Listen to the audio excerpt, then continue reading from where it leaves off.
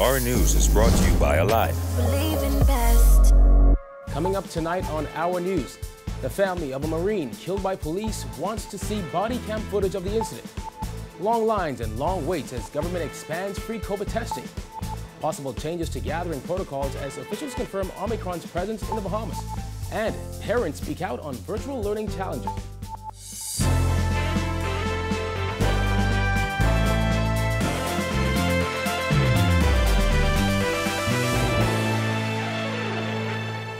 Welcome to Our News and thank you for joining us. I'm Kyle Joaquin. Topping news tonight, the family of Royal Bahamas Defense Force Marine Rodney Adderley wants to see the body cam footage of the police-involved shooting that claimed the young man's life on Monday.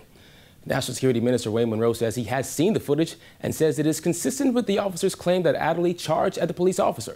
Munroe also told reporters today that the Marine appeared to have been dealing with some issues. The information is that he was he wouldn't have been armed. Have you seen the body cam I. I have it. You haven't? Yes. Does it match up with the police statement? Yes, it's consistent with the police's account. Munroe confirming that RBDF leading seaman Rodney Adderley was not armed early Monday morning when he was shot and killed by police. According to the police report, officers were called to a vacant lot near Dunmore Avenue following a complaint about a suspicious vehicle. When officers ordered Adderley to exit the vehicle, he reportedly charged at one of them and attempted to disarm him, prompting the officer to shoot him after being in fear for his life.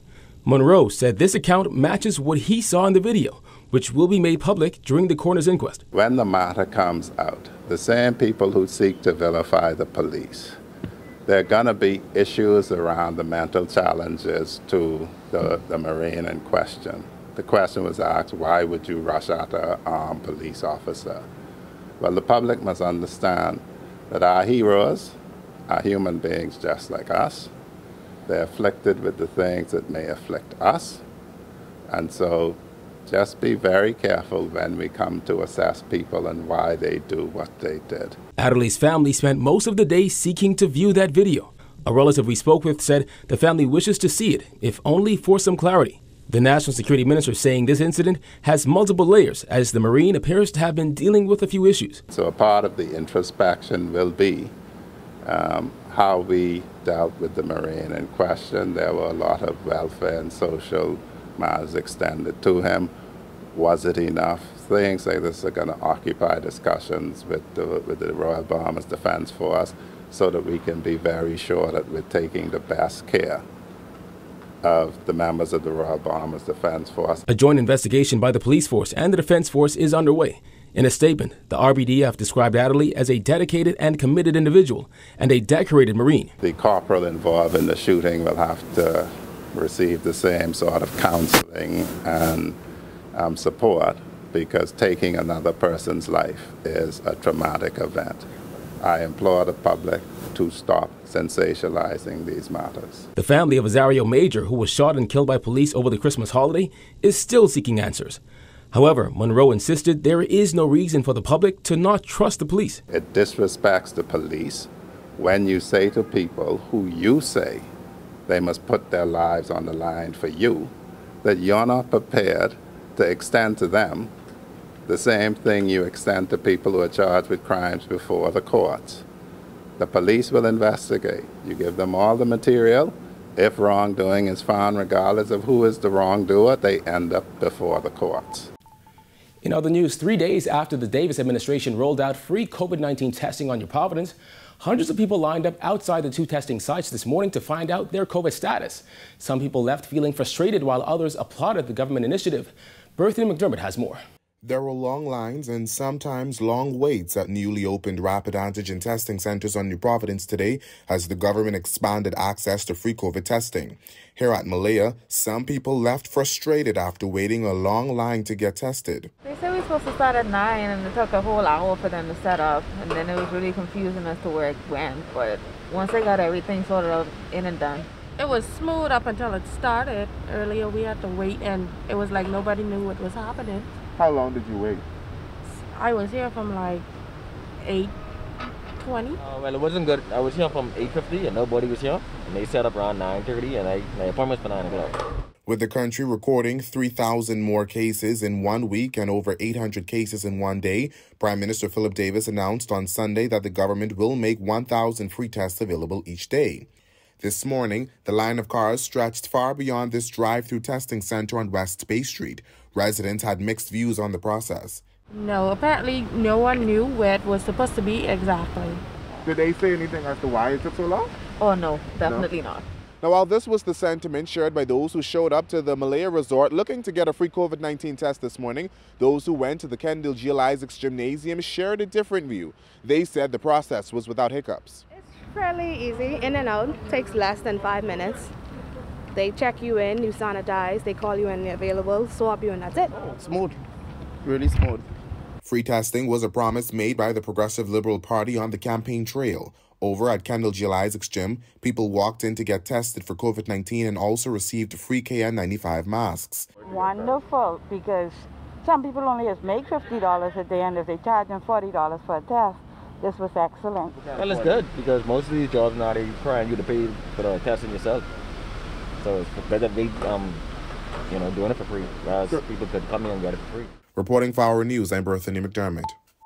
Health Minister Dr. Michael Darville revealing that tighter restrictions for gathering could be on the way as health officials review protocols with an aim to making some changes. On Friday, the country confirmed a single day record with over 800 cases. Cabinet discussed the matter today. What we are concerned about, like every country in the world, when we begin to see signs of exponential growth uh, spread, uh, we have to look at the protocols uh, as it relates to people coming close to proximity to one another and uh, make some adjustments. We intend to do so but we are watching the numbers. But uh, that 800 plus number, I think, was on Friday, and uh, that is of great concern to us. Some of the discussions will be taking place today in Cabinet. COVID hospitalizations also making a steep climb to 110 cases over the weekend. Based on the rapid rise in cases in recent weeks, health officials had suspected the highly transmissible Omicron variant had spread to the Bahamas, and Darville said information from the National Reference Lab has confirmed this. We're still testing and sending samples abroad uh, to make sure that uh, what we're seeing is absolutely correct. And we have been confirming that the majority of cases in the Bahamas is the Omicron variant. So we have that so, confirmed? Well, through uh, our reference lab, uh, they do uh, some preliminary testings and they are confident that it is here while we await the final confirmation from Panama. According to Darville, the 50 nurses recruited from Cuba are expected to arrive in the country this week. It comes at a time when over 150 healthcare workers are in either quarantine or isolation. This morning we had a number of somewhere between 160 to 180, I can't confirm. And with that being said, you know, we placed the new protocols in, and so probably today some additional ones will come back into service. And I'm looking forward uh, for the new 50 nurses from Cuba to be a part of the system to help us. Well, parents are speaking out on some of the challenges their children are facing accessing virtual lessons. They were candid with education officials who visited the Freetown community today in an attempt to address gaps in online learning. Sharika Johnson reports. Parents said they've faced difficulties the last two years as they've monitored their children on the virtual platform, from unstable internet connections to tablets not working. They're hoping for the better. 41 year old Stacia Cartwright is unemployed and has to juggle daily life while helping her children with online learning. Days like today, she is stressed because the internet was disconnected. At this point, the mother is eager for schools to resume face to face learning. It going in and out sometimes along with the weather and whatever. These are the children Minister of Education Glenys Hanna Martin wants to reach. She joined teachers and other staff of Uriah McPhee Primary School for a community walkabout today to find out why many students aren't participating in virtual lessons. There are children who have not been online for two years, and they're out there. And they're out there nationwide and they're out there in this community. And we need to go out there today, raise awareness to this community and to the nation that we are going to go out there and fight for our children. We're going to find them. We're going to bring them in. We're going to give them an opportunity in this life. We're going to do it. The COVID 19 pandemic has kept students out of the classroom for months and in some cases over a year. It doesn't help that some of them have had challenges accessing the virtual learning platform. Back in October, Director of Education Marcellus Taylor revealed that only 70% of students were attending online classes. 43 year old Michelle Adderley says her children have missed online classes and really need tablets. Today, she registered with the school to access the new devices. Sometimes I get on, sometimes I don't get on. And I feel it was a problem with me because I want my children to be on, on time with their schoolwork. And then the tablet now wasn't working. Following a tour of public schools across New Providence, Prime Minister Philip Davis said the government is aiming to reopen schools this month. In the meantime, Freetown Member of Parliament Wayne urged parents to do all they can to ensure that children attend online classes. It behooves us to start being a generation of complainers. Get with it, access the opportunities that are available to you, sacrifice where sacrifices are necessary, maybe one less beer, maybe one less club outing, maybe one less hair job, nail job, sacrifice to get it done for your children. Reporting for our news, I'm Sharika Johnson. Well, scattered thunderstorms expected tonight. Meteorologist Greg Thompson has our first look at weather. Thanks, Kyle, and welcome everybody for your first look at weather tonight on this Tuesday evening. Breezy conditions and partly cloudy skies outside our studios right now. Temperatures into the low 70s, 72, and those feels like temperature at 70. Northeast winds at 13 miles per hour. Satellite view, that frontal boundary that pushed into the northwest Bahamas overnight, now to the south of the capital. Showers and thunderstorms associated with that boundary continuing to affect portions of the Bahamas. We even have some showers out ahead of that across the southeast Bahamas. We will continue to see one or two more showers tonight through tomorrow. That's your first look at weather. Your extended forecast is still to come. Still to come, could a COVID spike on some family islands result in tougher restrictions for inter-island travel? And the legal year opens tomorrow. How the fourth wave has impacted this year's ceremony. Stay with us. Welcome to our news and thanks for joining us. Topping news tonight. COVID 19 remains a serious threat. Coronavirus COVID 19 has disrupted our economy, tourism industry, educational system, and put our healthcare facilities and professionals on high alert. Are you prepared? Do you have all the facts? Stay tuned to this network for the very latest news and information on this global pandemic.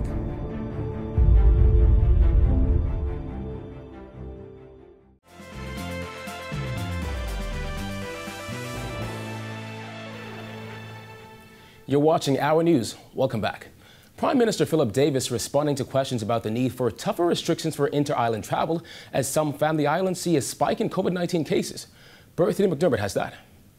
Amid an increase in COVID 19 cases on some islands, Prime Minister Philip Davis could not say whether government intends to impose restrictions on domestic travel to reduce the spread of the virus. Grand Bahama, Abaco, Exuma, and Inagua are among the islands that have seen a spike in cases in recent days. Davis said part of the challenge the Bahamas faces as an archipelago is the virus is appearing in each community at different scales. Depending on which island you're coming from and going to, will dictate what what necessary measures have to be put in place. And so it is very difficult to answer that question in a, in a way that will be with any degree of certainty. All we can say is that measures that be put in place for inter-island travel will depend on the risks involved from each from one, one island to the next. On Friday, the country confirmed a terrifying single day record 818 new cases in one day. 734 of those cases were on New Providence. That was followed by 291 cases on Saturday and 349 cases on Sunday. Hospitalizations have returned to triple digits. Opposition leader Michael Pintard called it responsible for the Prime Minister to disregard measures that he said could be useful in the future and suggested the government isn't doing enough. Let them tell me what else we should be doing. Because uh, public education is starting. Very good. We're giving a free mask. We have free testing. Right? We have stre- strengthened restrictions coming into our borders. What else would they want to? We have, we have engaged more doctors. We've engaged more nurses. What else would they want us to do? Davis also accused the former government of leaving the country in a sad state. Short of resources not enough medication in place. We are now ordering, we have ordered medication to treat the COVID. Reporting for Our News, I'm Berthany McDermott. In less than 24 hours, the new legal year begins, but it's going to look a lot different than the outdoor ceremony that was initially planned. Due to the recent surge in COVID 19 cases, the event will now be held virtually. Still, Chief Justice Sir Brian Moree QC says the next year will be all about executing plans that have been in years have been years in the making. Here's Jason Brown. Chief Justice O'Brien Moree explaining his goals for 2022 will be about execution. We now must execute. The planning has been done. A lot of the a lot of the back office work has been done. I mean, hundreds and hundreds of meetings. Um, it's now all about execution and implementation. And according to the Chief Justice, there is a lot to be implemented. We have been working behind the scenes on many projects now for the better part of two years. We're getting to the point where these projects are going to be rolled out. During his speech at the opening of the legal year in 2021, Sir Brian outlined his plan to bring sweeping changes across the judiciary, including overhauling the problematic juvenile court system, introducing alternative sentencing in the magistrates' court, and initiating a program to reduce the decades long backlog. The CJ summed up his plan in two words reform and modernization. But this year, he says other projects will get special focus. We have to implement our case management system. We have to complete our digitization project. We have to launch our e-filing portal. Uh, we've already launched CAPS, the Court Automated Payment System in the Magistrates Court, but that needs a little bit more work in order to get the level of utilization that we need. Um, so we're going to be doing more work on, on, on integrating CAPS into the delivery of our services in our, in our magistrates family court. Um, we, we, we, we have a, another major project, which is very important. It's the digital court reporting system. Now, the Chief Justice is expected to address that and much more when he delivers his remarks at tomorrow's opening of the legal year. The ceremony will now be conducted virtually and will be broadcast on RTV and social media platforms. Reporting for our news, I'm Jasmine Brown. Still to come, additional safety measures to be implemented at the House of Assembly. And Bahamian hoop stars hit the hardwood. The details when our news returns. Welcome to our news and thanks for joining us. Topping news tonight. COVID 19 remains a serious threat. Coronavirus COVID 19 has disrupted our economy, tourism industry, educational system, and put our healthcare facilities and professionals on high alert. Are you prepared? Do you have all the facts? Stay tuned to this network for the very latest news and information on this global pandemic.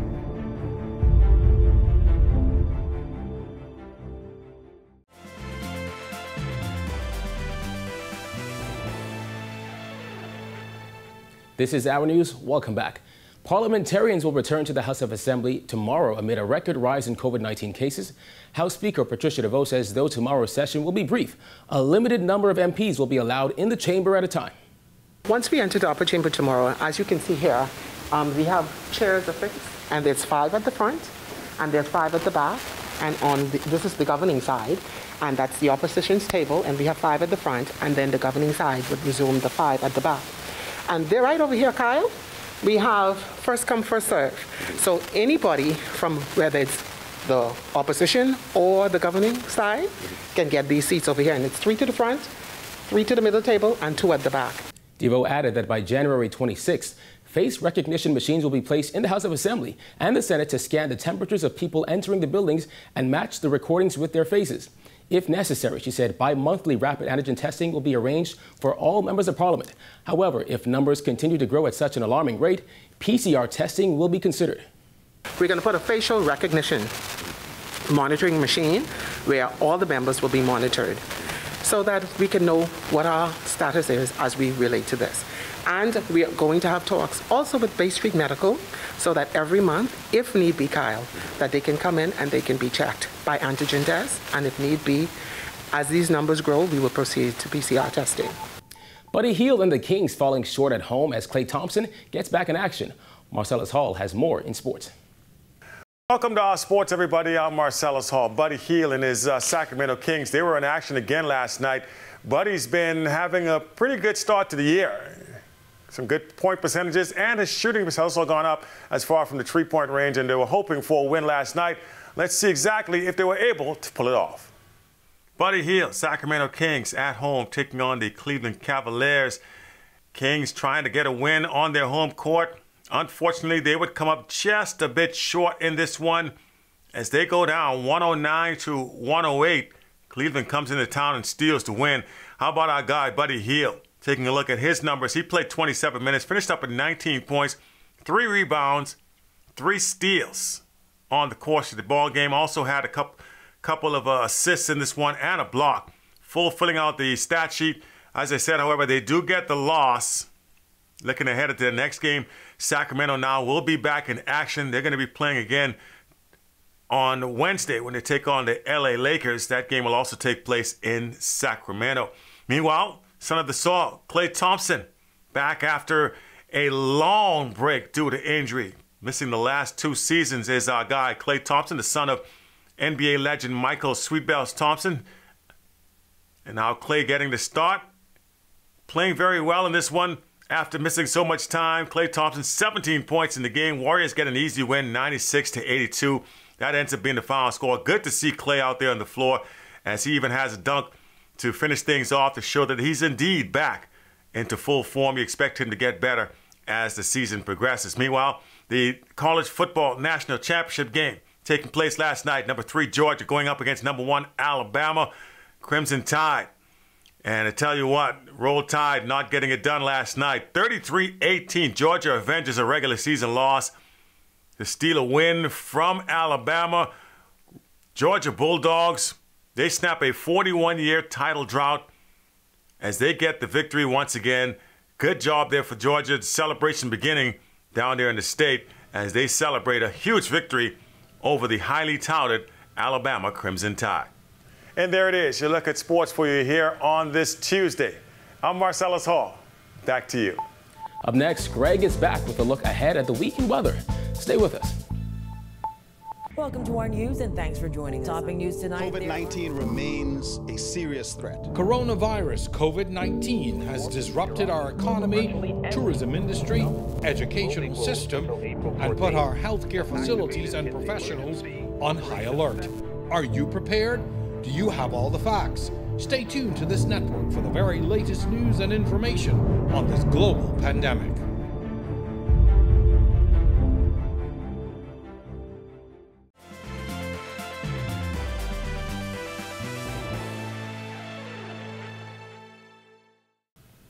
Welcome back to Our News.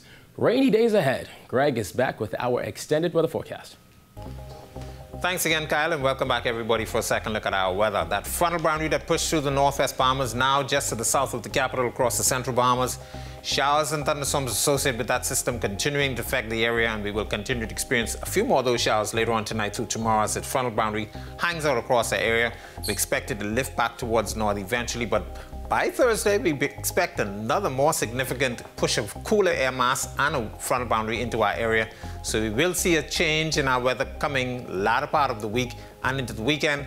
And then again, we expect another front boundary by Monday. So a series of fronts expected to move through the capital and the Bahamas over the next couple of days. So we're looking like winter is here for the first part of the year. Boating forecast, very rough out there for all you boaters out there. Northwest Bahamas small craft advisory posted those winds will be 15 to 20 knots, but up to 25 knots across the extreme northern islands. Very rough seas, 4 to 6, but up to 9 feet in some swells. Your low tide will be at 9, 12 tonight for the central and southeastern islands. A caution flag posted for you guys down there, all due to the swells as well. East to southeast winds 10 to 15 knots, seas 2 to 4 feet near shore, but they will be up to 7 feet offshore in some moderate swells. Here's a look now at your national forecast.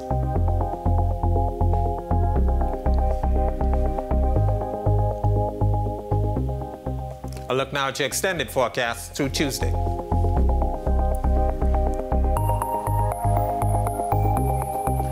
Hazardous beaching and boating weather for the next couple of days, but do stay safe.